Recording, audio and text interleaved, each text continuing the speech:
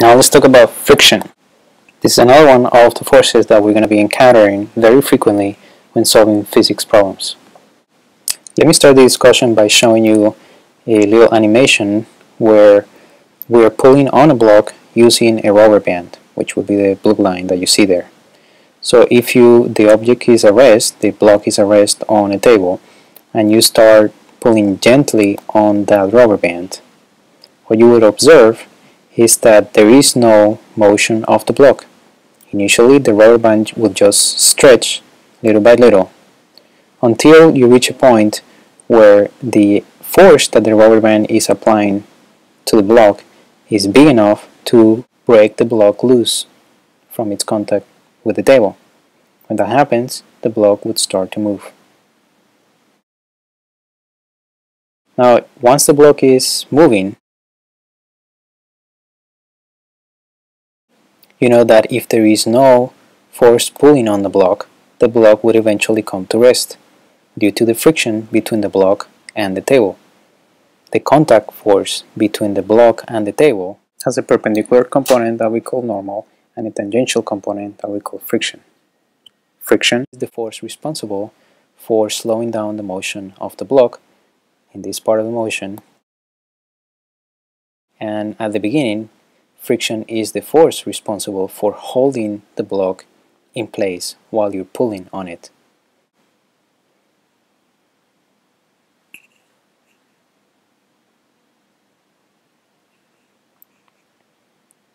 What is the origin of the force of friction between two objects?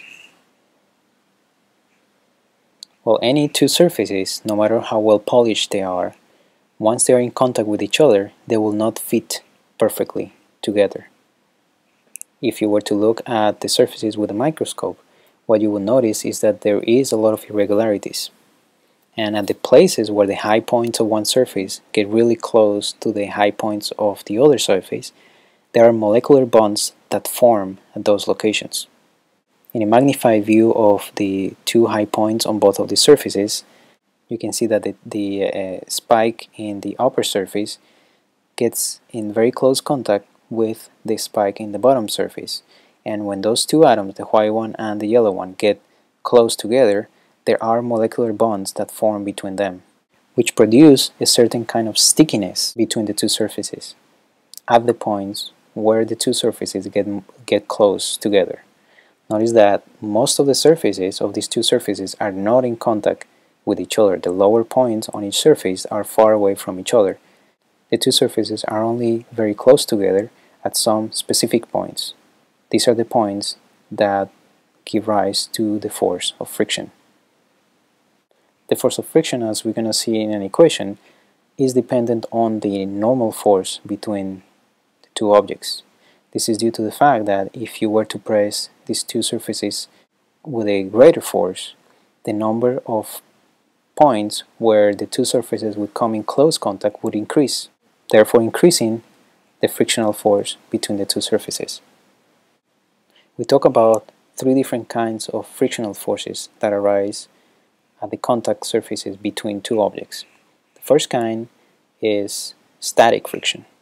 This is the kind of friction that occurs when an object is at rest with respect to the other object, but there is an applied force. An example of static friction will be at the beginning of the animation where we had the rubber band pulling on the block, but there is no motion of the block produced by that force. So the tension, the force T acting on the block is not strong enough to make the object move. So if there is no relative motion between the two objects, we talk about static friction. The static friction in this case is again due to the high points on the lower surface. Those high points prevent the upper surface from sliding to the right. This opposing force to the applied force of the rubber band is what we call static friction. If the block is simply sitting on the surface and there is no force pulling on it, then the force of friction will have a value of zero. The value of the static friction in this case is equal to zero. But as the applied force increases in magnitude, the static friction has to increase in value to prevent the motion of the block. As the applied force increases, friction increases all the way up to a maximum value of mu sub s times n.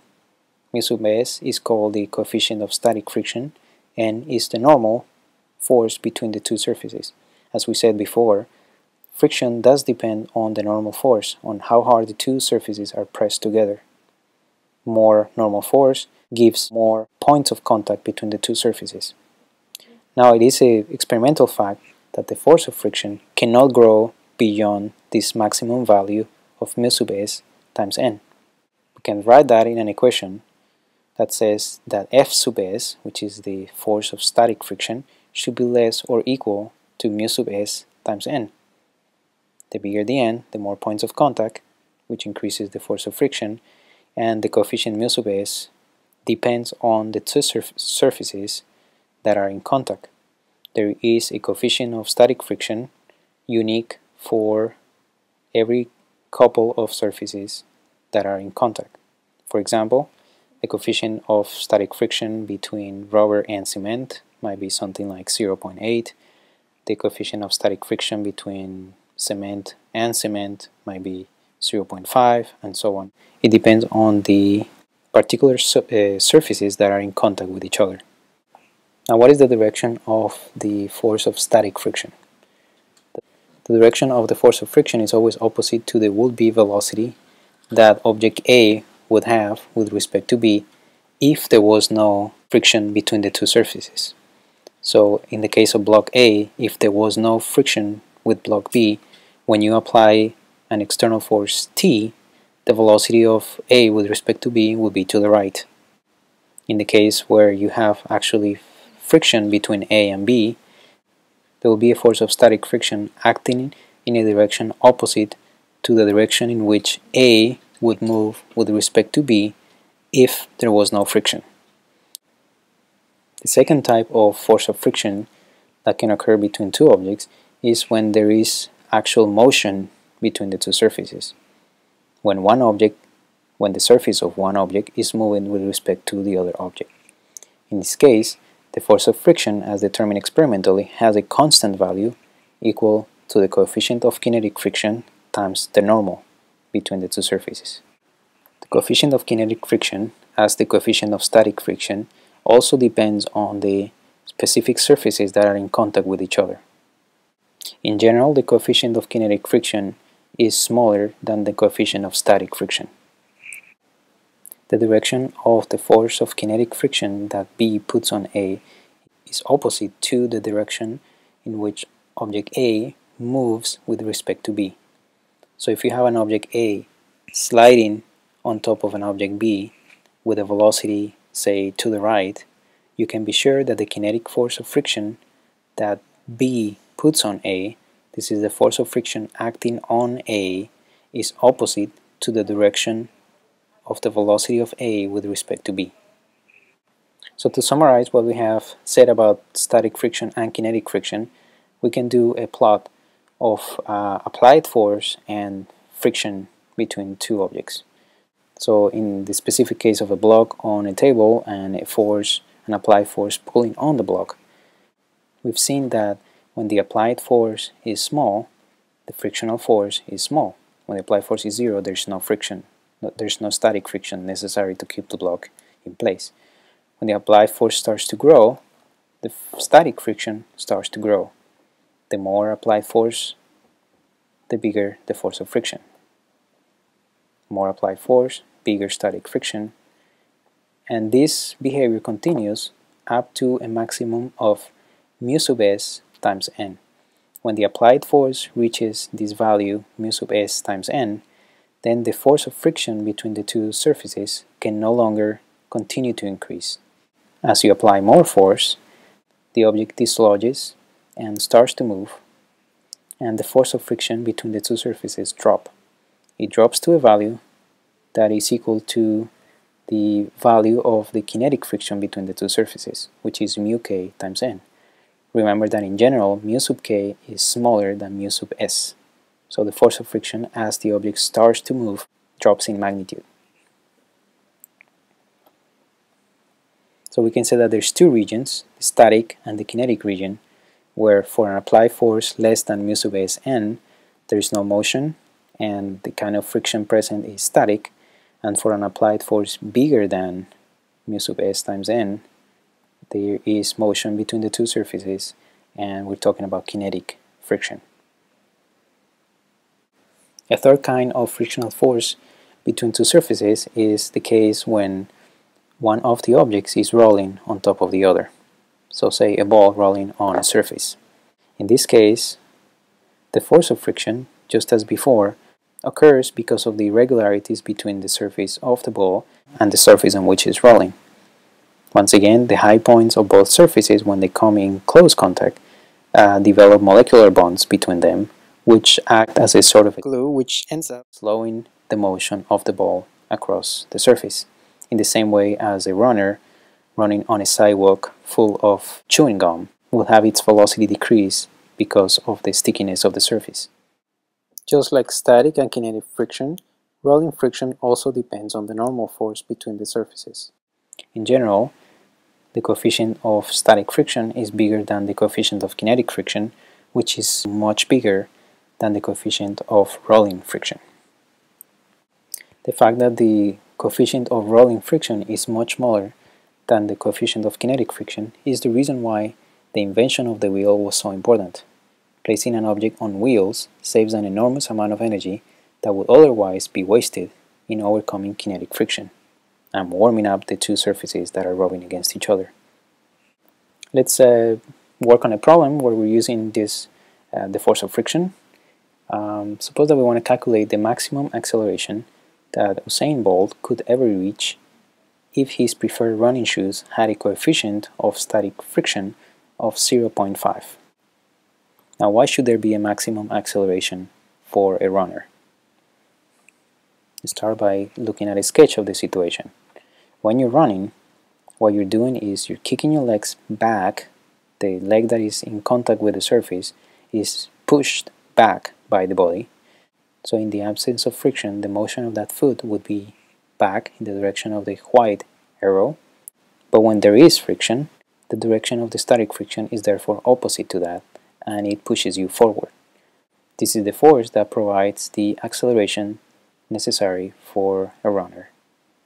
If we were to do a free body diagram for a runner, the free body diagram would have three basic forces. The normal force the, coming from the ground, supporting the weight of the person, the weight of the person due to the attraction of the earth, and the force, the static force of friction between the shoe and the ground.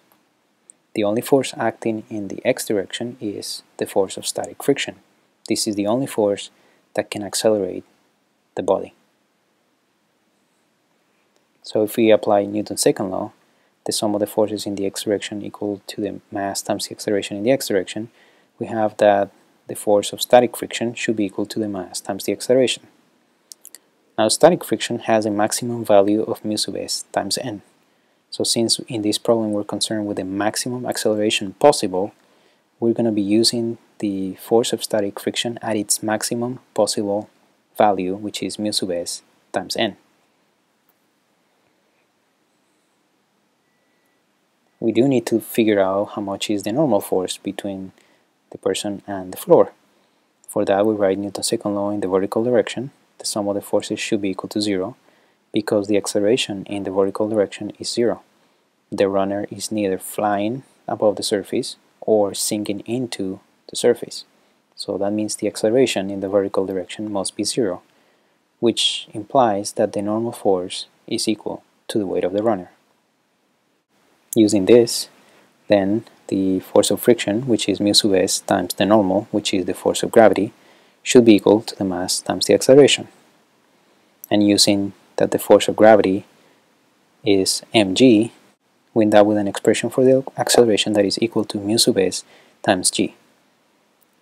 The ultimate limit for the acceleration that can be achieved by a runner is determined by the kind of shoes that the runner is using.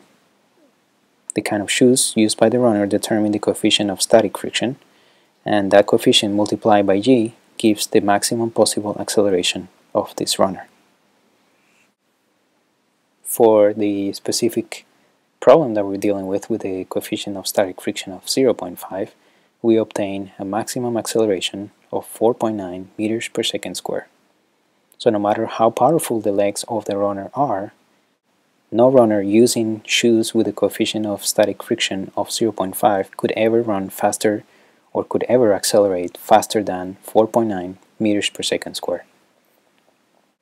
Now using this result, and just to make sure that you're paying attention, uh, I want you to answer the question in all space. If Usain Bolt could run maintaining an acceleration equal to his maximum theoretical acceleration, just discussed, for mu equals 0.5, what would be his time running the 100 meter race? How much time would it take Usain Bolt to run the 100 meter race? Please calculate this and answer in our space.